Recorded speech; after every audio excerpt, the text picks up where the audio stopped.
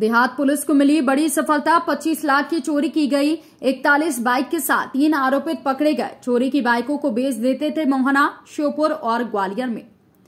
शिवपुरी ज़िले की देहात थाना पुलिस ने आज एक बड़ी सफलता हासिल की। पुलिस ने चोरी गई। इकतालीस बाइक जब्त की, साथ ही तीन आरोपियों को पकड़ा। गिरोह का मास्टरमाइंड फरार है। आपको बता दें कि ज़िले में लगातार हो रही बाइक चोरी की घटनाओं को गंभीरता से लेते हुए एसपी राजेश सिंह चंदेल के निर्देशन में SP Praveen Bhuria, SDOP Ajay Bhargav, SDOP Pohri Niranjan Singh Rajput के मार्गदर्शन में ज़िले में वाहन चोरी की घटनाओं का पता लगाने के प्रयास किए जा रहे थे। इसके तहत 8 फरवरी को थाना देहात ने इकतालीस चोरी की बाइक जब्त कर चोर गिरोह का पर्दाफाश किया। चोरी एक अलग तरह की चाबी बनवाते थे, जिसे वो बाइक के लॉक में फंसाकर तोड़ देते थे और बाइक चोरी कर ले जाते थे। 8 फरवरी को मुखबिर से सूचना मिली कि एक व्यक्ति चोरी की बाइक बेचने के लिए पुरानी शिवपुरी में आया है, जिसके बाद सूचना पर पुलिस मौके पर पहुँची और आरोपित को पकड़कर पूछताछ की तो उसने बाइक को बागड़े हनुमान मंदिर से अपने साथियों के साथ चोरी करना बताया। कुछ बाइक शिवपुरी, ग्वालियर और श्योपुर व आसपास के क्षेत्रों की चोरी करना बताया। इसमें चोरी की गई बाइकों को चोरों ने मोहना कराहल आकुर्सी और बैराड में अपने साथियों को बेचने के लिए दी थी। पुलिस ने कार्यवाही करते हुए मोहना से 16, आकुर्सी से 8, कराहल से 17 बाइक आकुर्सी से 8, कराहल से 17 बाइक। कुल मिलाकर 41 बाइक कीमत 25 लाख रुपए की बाइक जब्त की।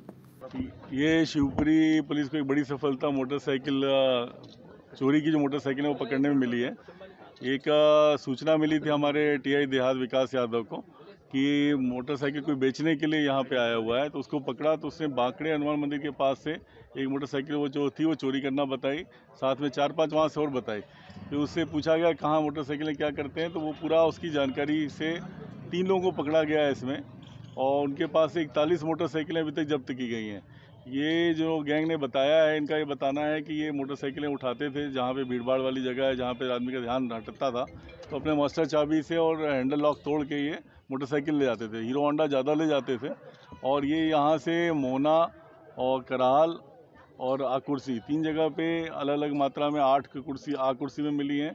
सोलह करीबन मोना में मिली हैं और सत्रह जो है हमारी कराल में मिली हैं। और ये रूट जो है कराल का, ग्रामीण क्षेत्र का रूट देखते थे और ये इंतज़ार करते थे कि अगर खरीदार कोई मिल जाता है ग्रामीण क्षेत्र का तो उसको सस्ते दामों में बेच देते थे। एक बड़ी सफलता मिली है, इसमें तीन आदमी और फरार हैं, जिनको पकड़ने में शायद और मोटरसाइकिलें मिलेंगी। और इसमें हमारे एस अजय भार्गव और T Vikas Yadav S H O Pohri जो भी विनोद यादव हैं, इन, ये और इनके टीम ने बड़ा अच्छा इसमें काम किया है।